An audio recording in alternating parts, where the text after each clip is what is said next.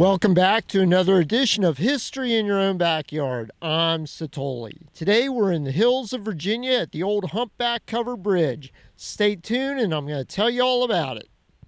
This Humpback Cover Bridge, built in 1857, is Virginia's oldest cover bridge. It's located just west of Covington, Virginia in Alleghany County. The bridge is 107 feet long and spans Dunlop Creek. The hump in this bridge is four feet higher in the center than on the ends. It was part of the James River and Kanawha Turnpike and is the fourth bridge at this location. The first bridge was built in the 1820s and was washed away by a flood on May 12, 1837. The second bridge was washed away in a flood also on July 13, 1842. The third bridge collapsed on its own in 1856. This bridge was closed to traffic in 1929 when a steel through truss bridge was built just downstream.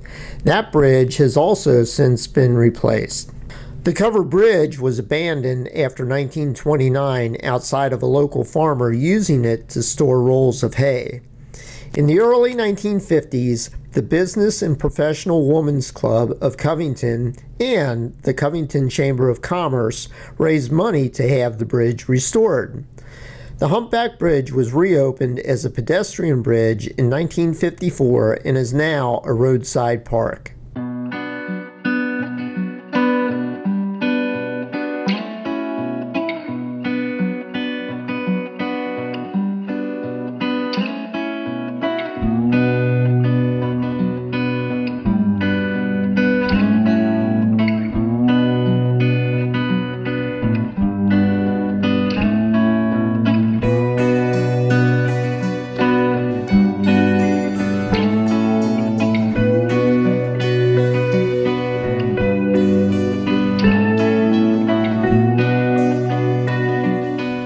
Thanks for watching another edition of History in Your Own Backyard. Today we discovered this old humpback bridge in the hills of Virginia. Hope you enjoyed it, and remember, travel slowly and stop often. See you next time.